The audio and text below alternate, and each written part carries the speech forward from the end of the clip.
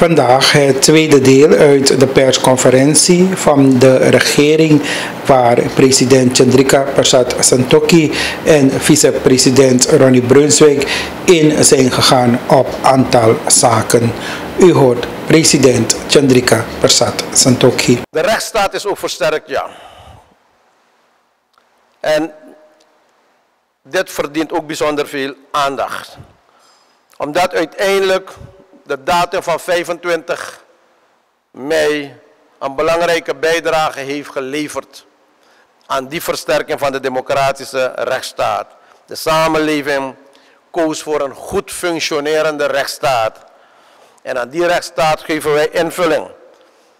En dat hoeft niet alleen te blijken uit hoe een hof functioneert, maar het blijkt al in de eerste plaats hoe het parlement functioneert.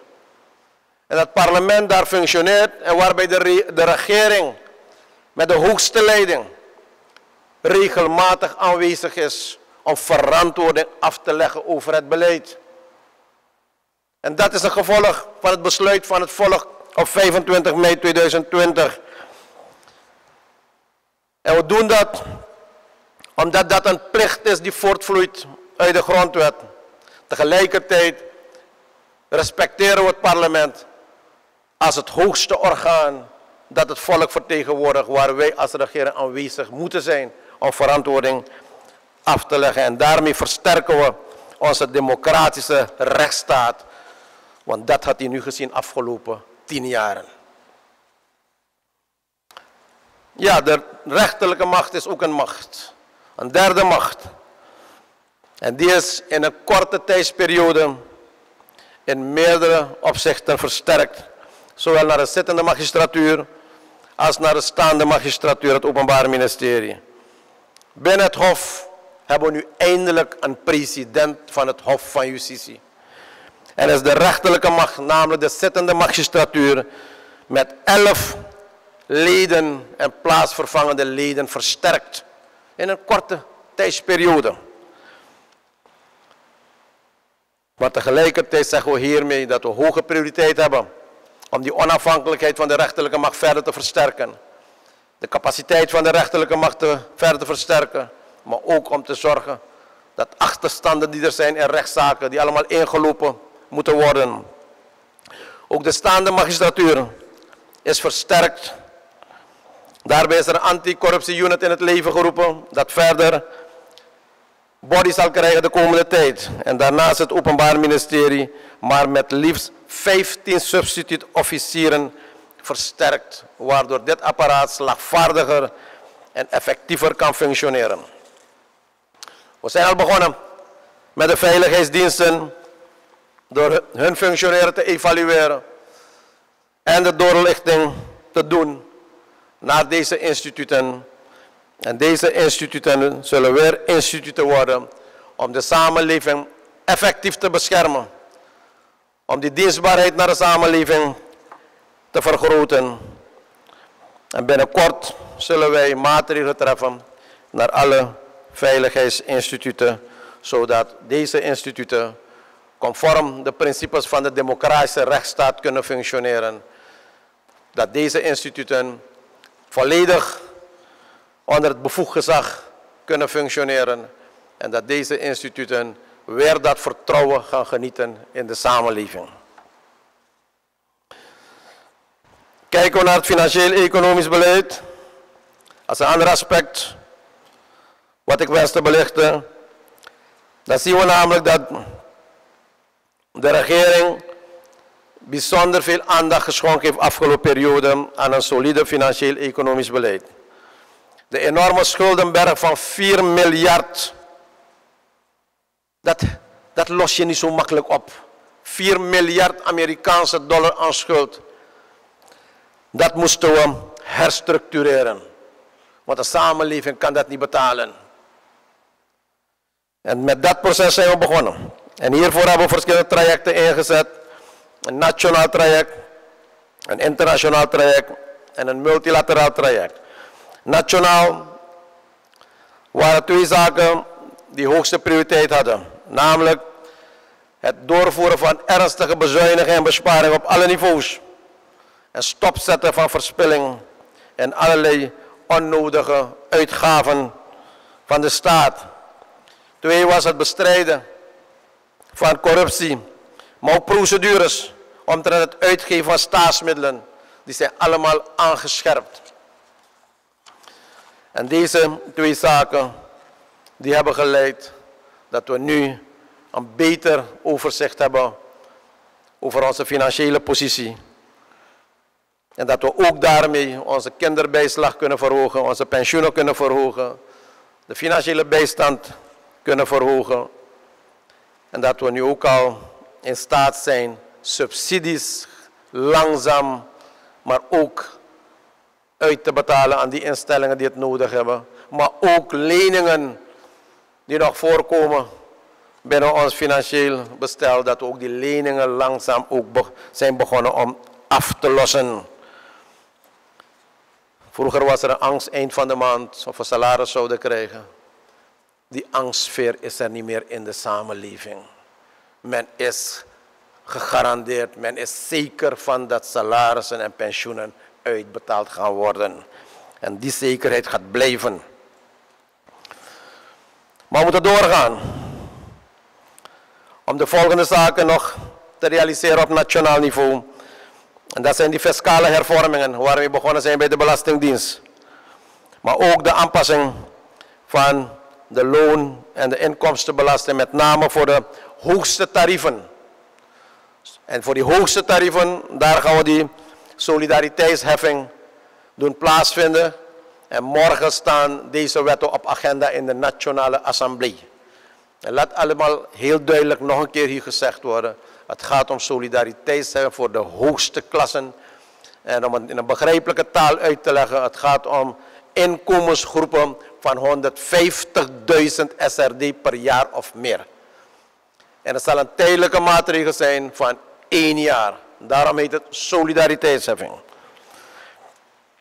Tegelijkertijd moeten we afbouwen de subsidies op elektra en water. De voorbereidingen zijn al getroffen.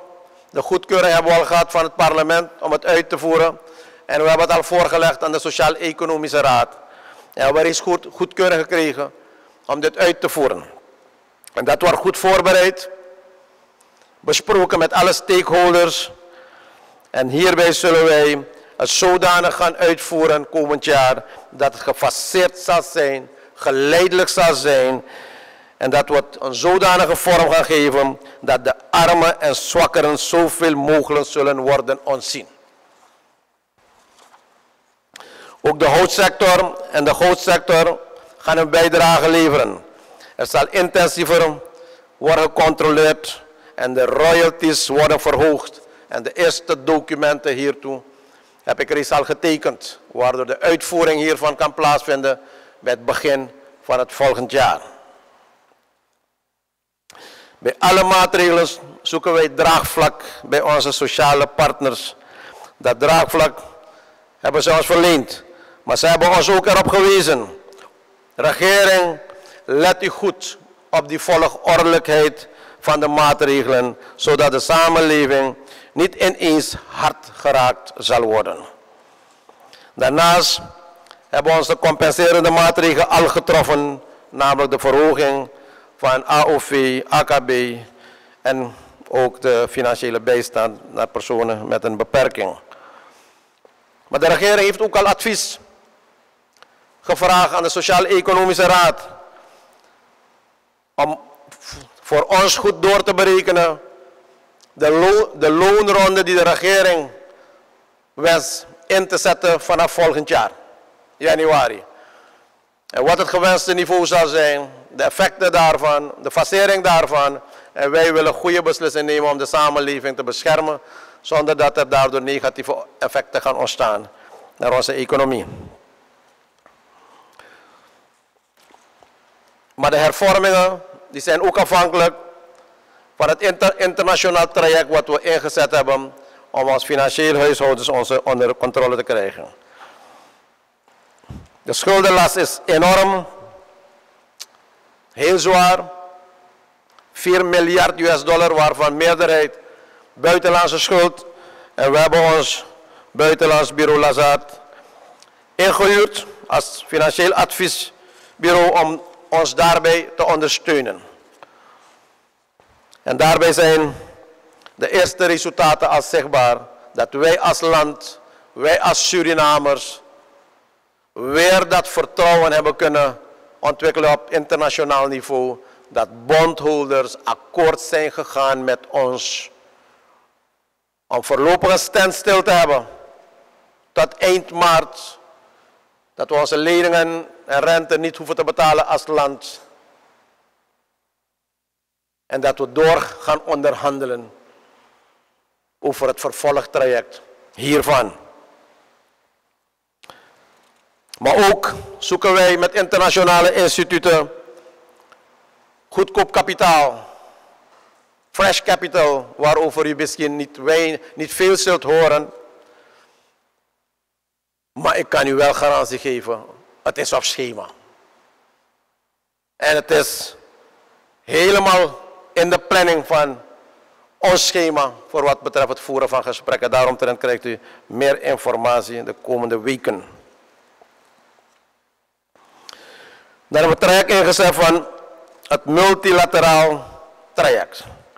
Binnen het multilateraal traject zijn we bezig om op basis van door een regering, de deskundigen van de regering, zelf ontwikkeld nationaal herstelplan.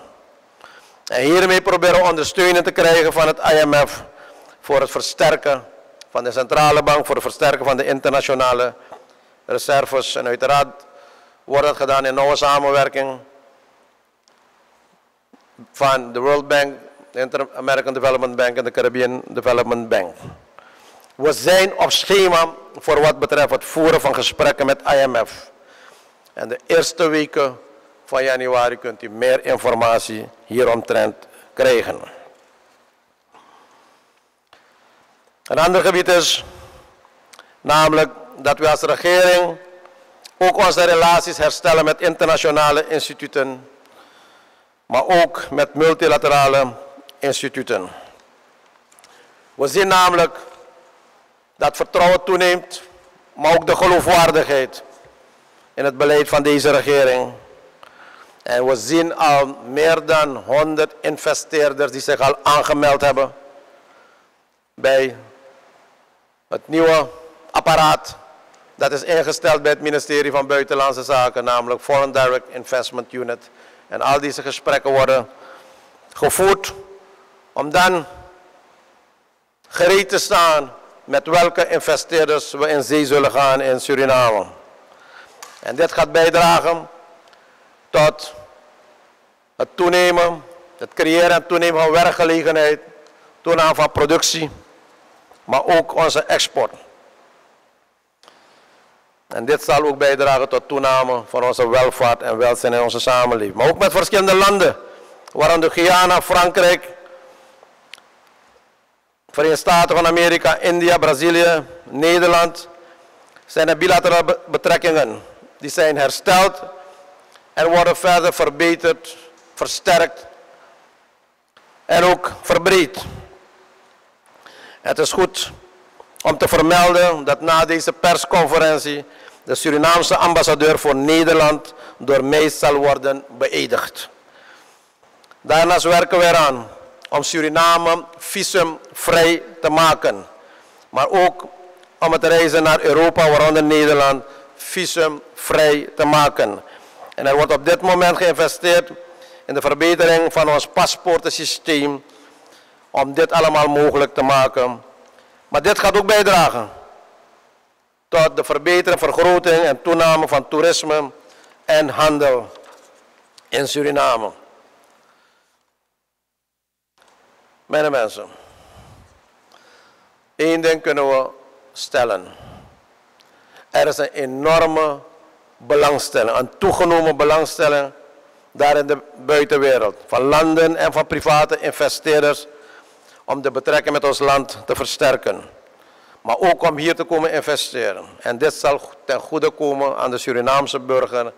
Die zal uiteindelijk de vruchten hiervan plukken door de werkgelegenheid die, die zal ontstaan, maar ook door die spin-off effect naar onze economie en ook het toegenomen kapitaalverkeer. Volksgezondheid was een van de bijzondere zaken van afgelopen periode, haast afgelopen periode. En daar zien we ook namelijk dat we een paar prioriteiten hebben gesteld. Eén is namelijk een sterk preventief beleid naar volksgezondheid toe. Maatregelen die nu al geïnitieerd zijn en die verder ontwikkeld zullen worden om te voorkomen dat onze burgers ziek worden. Maar tegelijkertijd aanpassen van ons leefstijl, leefstijlverbetering, sporten, gezondere voeding. Maar natuurlijk, als je ziek wordt, dan moeten medicijnen gegarandeerd zijn. En dat is een andere prioriteit wat we als regering hebben. En dat de financiële middelen hiervoor beschikbaar gesteld worden om deze medicijnen aan te schaffen. En uiteraard zijn we bezig om met andere en verschillende partijen gesprekken te voeren om ook faciliteiten op te zetten in Suriname om onze medische zorg verder te verbeteren en uit te breiden. COVID heeft onze volksgezondheid behoorlijk beheerst, gedomineerd. En ook in dit kader hebben we ondersteuning kunnen krijgen van verschillende landen en internationale instituten waarvoor we bijzonder dankbaar zijn. En natuurlijk hebben we maatregelen getroffen. Het volk heeft ook haar bijdrage geleverd. En we danken ook het volk van Suriname voor het willen terugbrengen. Maar we willen terug naar die oude situatie. Waar we bijna op nul waren. Zes hadden we al bereikt van infectiegevallen. En nu zien we dat we weer zijn naar in de buurt van 400. En dat is niet goed. En dat is een zeer zorgwekkende ontwikkeling. En daarom komt de minister straks met zijn clusterteam en deskundigen om de samenleving te informeren over de COVID-situatie en maatregelen die hieraan gekoppeld zijn en of ze aangepast zullen worden of verscherpt zullen worden.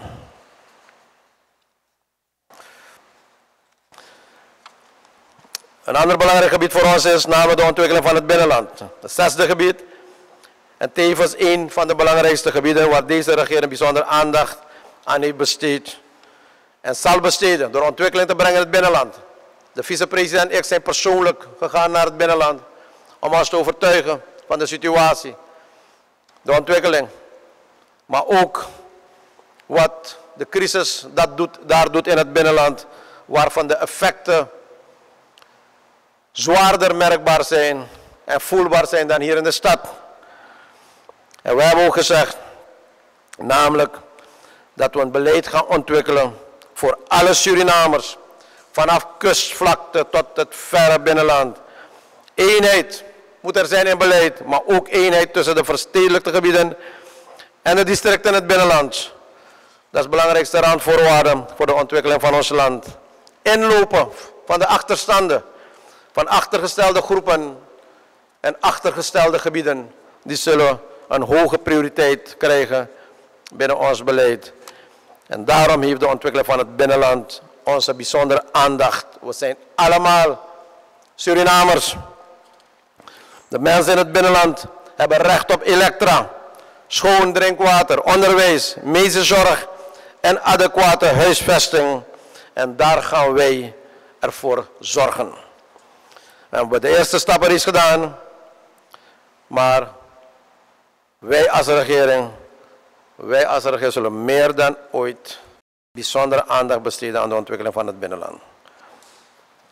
Terugkijkend zijn er mooie momenten geweest in 2020 en er zijn ook minder prettige momenten geweest. De mooie momenten, ja geweldig. Als je als land, als Sarnamang, als Surinamers hoort, Oliveni, oliefonds, dat doet ons goed. Dat is een goede ontwikkeling. Dat is door God daar neergezet. Wij moeten als mensen zorg dragen voor goed bestuur en goed beleid. Dat die inkomsten van die olie terugvloeit naar het volk van Suriname. Want dat is de visie van deze regering. Van Santokki en Brunswijk. de natuurlijke hulpbronnen behoren toe aan het volk van Suriname. En dat gaan we ook realiseren.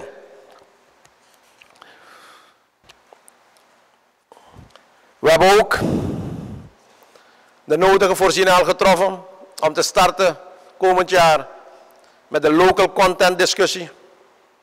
Dat de lokale ondernemers en bedrijven maximum zullen profiteren van de oliefonds en ook de spin-off. Waarbij we zeker als discussie zullen meenemen ook de offshore base. Maar ook namelijk de positionering van oil en gas binnen ons bestuurlijk bestel.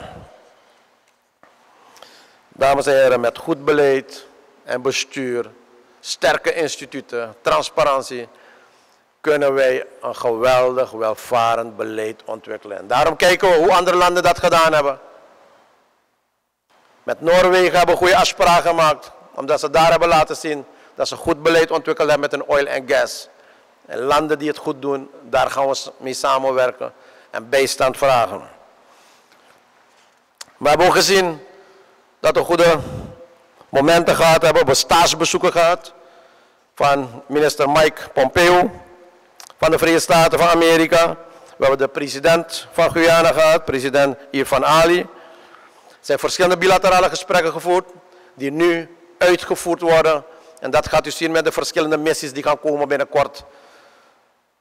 Die een voortzetting zal zijn van de missies die afgelopen periode is afgelegd. Reeds in januari gaat u dat merken. Tegelijkertijd hebben we ook tal van topmissies gehad, maar ook uh, officiële bezoeken gehad tijdens de viering en herdenking van de 45e onafhankelijke, onafhankelijkheid van Suriname. En hebben hoge delegaties gehad, regeringsvertegenwoordigers van naast Guyana, ook van Frankrijk, Brazilië en Nederland, waarmee er ook goede afspraken zijn gemaakt. Ja, er zijn ook minder mooie momenten geweest. Zeker wat we nu meemaken als tweede golf van COVID is niet prettig. Iedereen dacht dat we een stabiele situatie bereikt hadden.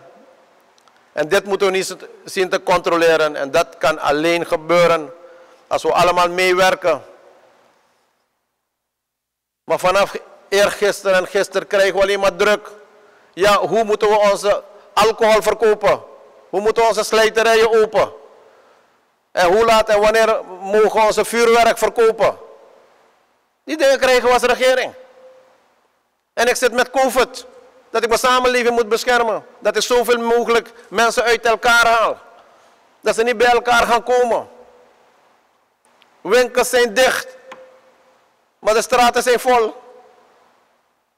Winkels die nu weten dat ze niet open moeten zijn, zijn open. Alleen om commercie. Alleen om een stukje geld. Is dat het leven? Is dat wat we willen? Laten we alles doen om dit land te beschermen. Laten we alles doen om het volk te beschermen. Ja, ik maak me zorgen omdat ik niet weet waar dit gaat eindigen, die tweede golf. Andere landen hebben langer dan een maand lockdown.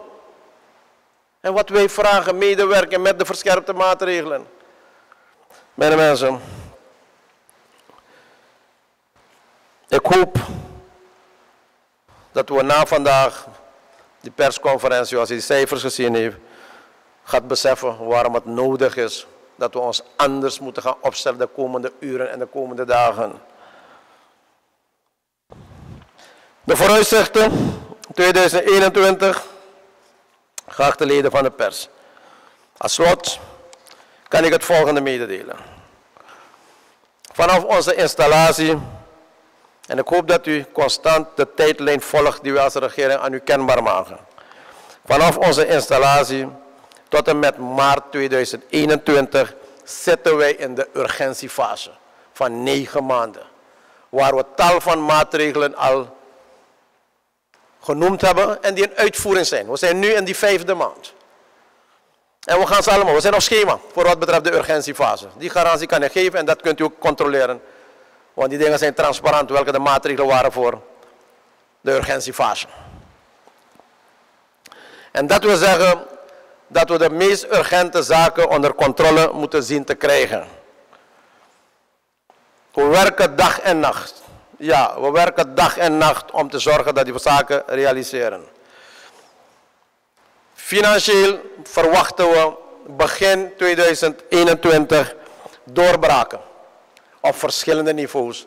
Vergeet u niet de drie trajecten die ik net genoemd heb. Nationaal, internationaal en multilateraal. Daar heb ik constant genoemd. De maand februari, daar zullen de lichtpunten duidelijk zijn. Daarnaast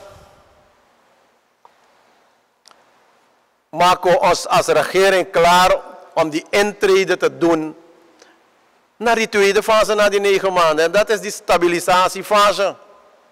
En die start in april, in die tijdlijn van ons. En daarvoor hebben we als regering verschillende projecten al goedgekeurd afgelopen woensdag. In de regeringsraad zijn enorm veel projecten. Een paar instituten hebben we ook gevraagd om ook projecten in te dienen. Dus voor hen hebben we gezegd tot 30 december. En volgend jaar, eerste helft van volgend jaar, eerste helft van volgende maand, eerste twee weken, finaliseren we al deze projecten. En er zal een projectmanagementorganisatie komen om de regering te ondersteunen bij het verder beschrijven van deze projecten, de processen, samen met de stakeholders, ondernemerswereld, architectenwereld en andere instituten, nationaal en internationaal, omdat wij ons klaar willen maken voor die tweede fase. Die zullen bijdragen tot toename van werkgelegenheid, maar ook toename van economische activiteiten. Tegelijkertijd zullen we doorgaan met keihard werken aan de zes gebieden die ik net genoemd heb, namelijk verder verbetering van het bestuur, verder versterking van de rechtsstaat, een degelijk en solide financieel-economisch beleid, verder herstellen en intensiveren van bilaterale, internationale en multilaterale relaties, het verder bevorderen van onze volksgezondheid en het ontwikkelen van het binnenland.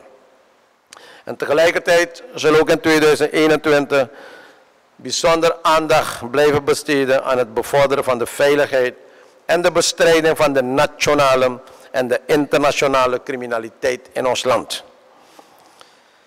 In 2021, zoals de verwachtingen nu eruit zien, zullen we ook langzamerhand afrekenen met COVID. We verwachten in het eerste kwartaal van 2021 onze vaccins te hebben ontvangen. En de eerste contouren van het nationaal vaccinatieprogramma zijn al geschetst. In april 2021 zullen we overgaan naar de stabilisatiefase.